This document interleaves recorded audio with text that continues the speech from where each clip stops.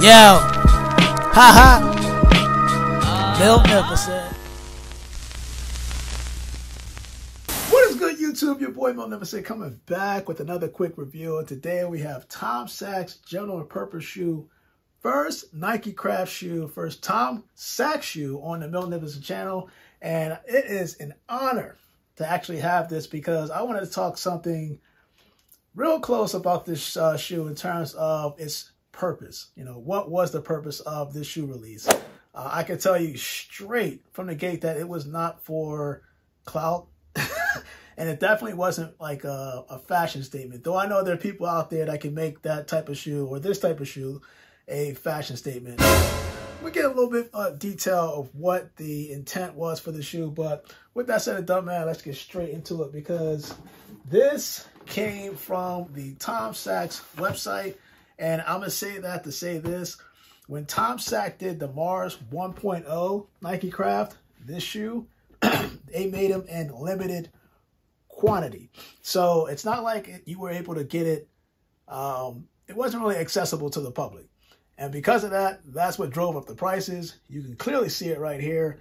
Um, and then the idea with this release, what Tom Sachs wanted to do is make it accessible to the public. So not only did this release in different boutique shops, um, and actually this is the re-release if I'm not mistaken, because this released the first time in June, but it released on his website via a raffle or a draw, but it also dropped at Kohl's, select Kohl's around the nation, which I thought was dope. Uh, and they really did want this to be a shoe that was accessible for everyone, um, as well as the cost concerns. Because, you know, nowadays shoes, you look at them, they're like $200, $300. Um, and originally he wanted to release this general purpose shoe for about around $100. But with the materials that are used, and I'll cover that during this video, they kind of had to up it up. And when I say they, maybe Nike's marketing team marked it up to about 130. I think that's what I paid uh, for this shoe. So with that said and done, man, you see the Nike Craft right here. Of course, the great architect, Tom Sachs. You can see on the bottom, I like his message on here that says, own less, do more. So let me touch up on this statement because Tom Sachs came from a middle class family. And if you talk to Tom Sachs when he was a kid, and you basically showed him the shoes that you guys have in your collections, he would tell you, no, I only really had three pairs of shoes, right? And he wore his shoes till he couldn't wear it anymore in terms of size. That's when he would get another pair of shoes. So he wasn't used to the, the world we live to today where everybody and their moms got like 30 pairs of shoes, at least the kids. Uh, and some adults got 20, 30, 40, 50 pairs of shoes. Um, but you could tell that by his background, he had that blue collar, at least came from that family with a blue collar uh, type of style of, of working mindset. You know, so he appreciated everything that he had, which is basically the way I feel every day, you know. So with that said and done, you can see right here, Nike Craft, more Nike Craft logo on here. Um, he, Tom Sachs expects perfection. So understand when you're seeing the general purpose shoe or any shoe that comes from Nike Craft uh, by design, it is crazy, and I mean crazy, heavily tested, um, heavily designed. And the reason being is because you want the longevity for your shoes. Remember, he came from a family where, Tom Sachs came from a family where they appreciated everything they had, but they wore their shoes into the ground before they got another pair. So that's said and done. You can see on the lid, and I'm gonna read this off real quick. You'll probably see a screenshot right here, but it says Nike Craft shoes are manufactured to the exact specifications of champion athletes throughout the world. The design and construction of Nike Craft products support all the activities of your life and tell your story. Nike Craft shuns innovation for its own sake, but embraces it as a necessity. Top quality products fulfill their intended purpose while remaining as hard wearing as possible. Before recycling, there is reuse, and before reuse, there is durability. And I can tell you right now, when we take out this shoe, which I'm about to do right now, the construction, the materials made for the price point of 130 is really good. And I'm going to compare it to another shoe that maybe a lot of people might recognize or may not recognize. So Yes, let's just get straight into it. Got that out the way. Kicking my boxes all over the place. Let's take out the first shoe. Let's take out the second. And let's get straight into it. Oh. As we're looking at this, this is the general purpose shoe. And I can tell right now, Tom Sachs, you can tell when something's been created and it's been created very, very carefully. And it took long periods to create. And I'll tell you why. The three cup molded shoe with this like gubble, I'm going to say this gubble, this gum midsole that you see right here is hardened. Now, I can tell you from the back and looking at and feeling this that this is not really made to be worn in icy conditions, right? Um, it does have a rubber size outsole, like a waffle style. Uh, you can see that it has the Nike Craft logo towards the bottom, as well as the original Nike US patent that I, I'm not sure if anybody really knew about that. But if I were to look at this shoe for the first time and seeing this and feeling it, definitely not for the snow, not for the ice either, because I can definitely see you slipping. And I'll probably have a video right here to show you and illustrate exactly what I'm talking about.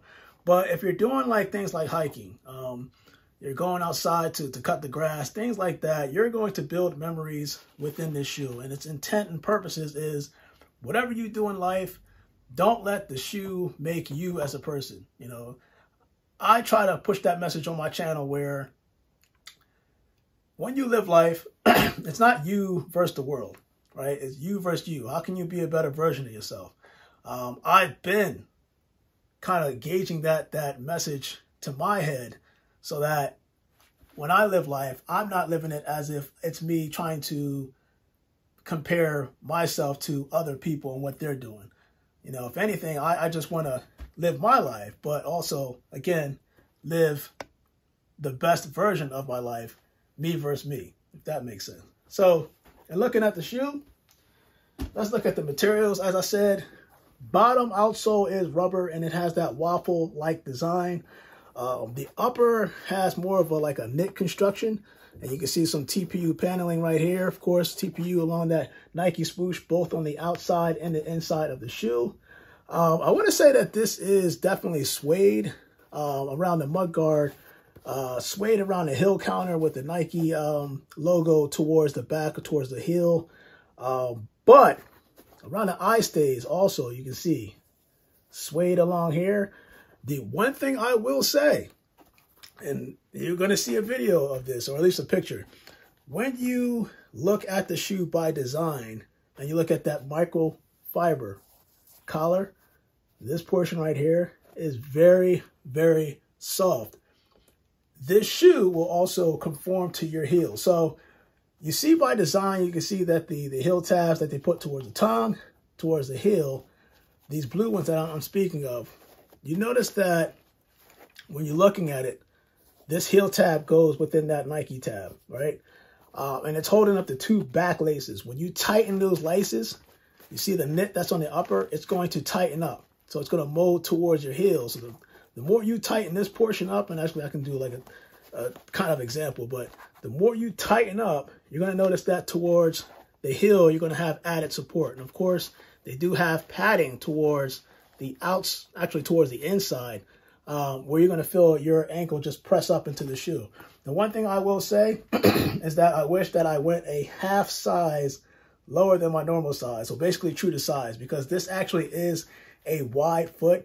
And my guess is based off the upper, since it's so thin, there's so much room for your foot to slide in and have that comfort.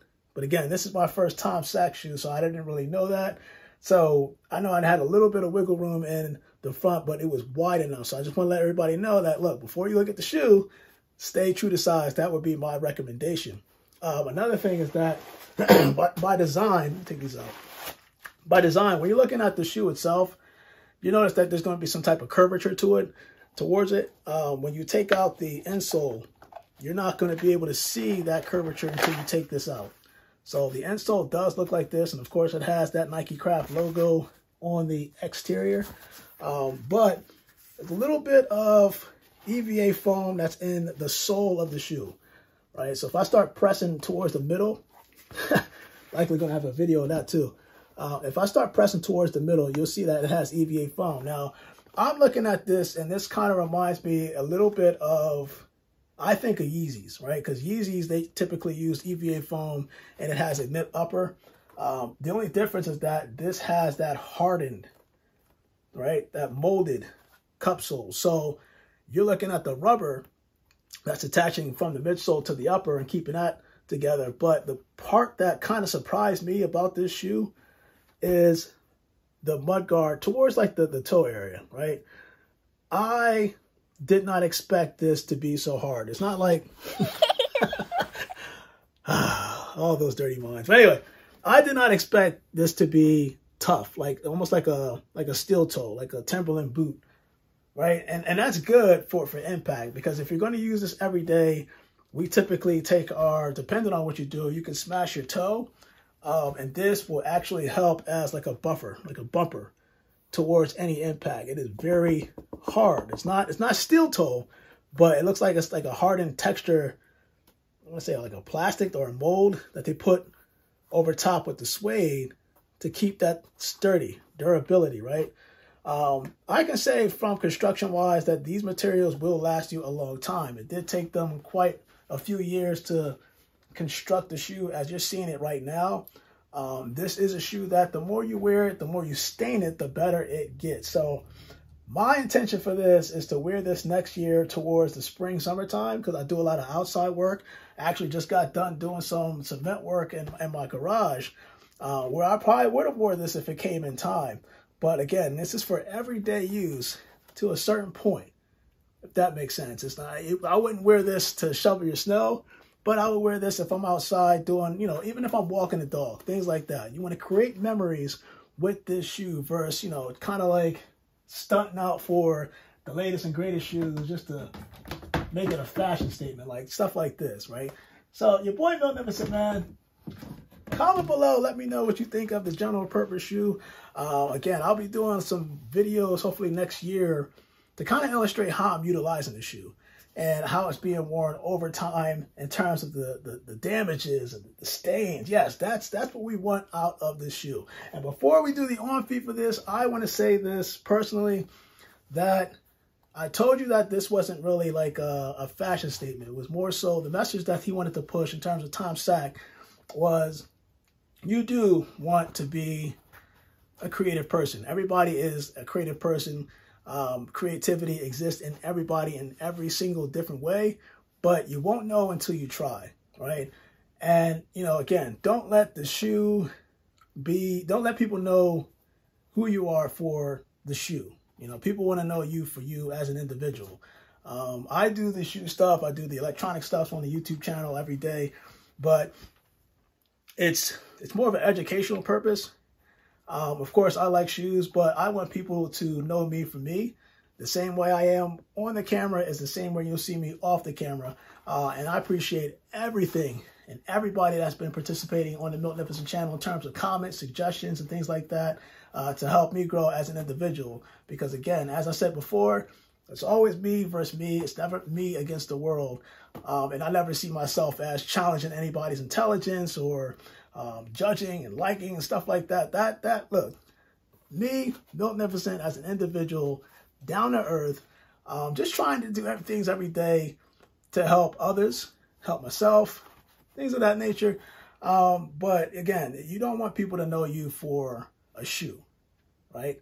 No, people should know you for your achievements, things you did in your life, how you make an impact to others, um, and that's what attracts a lot of people towards you as an individual. But your boy Miltnificent, man, the Tom Sachs General Purpose shoe, I did have to sign off with the shoe during delivery. And for anybody that is a winner of the Travis Scott Black Phantoms, if you got that on his website, that is the same process, meaning you have to be physically at your house in order to get this shoe or they will not deliver. I just want to let everybody get a heads up for anybody getting that shoe. But your boy Miltnificent Man, let's do that on feet. Tom Sachs general purpose shoe. I can't wait to dog this down next year.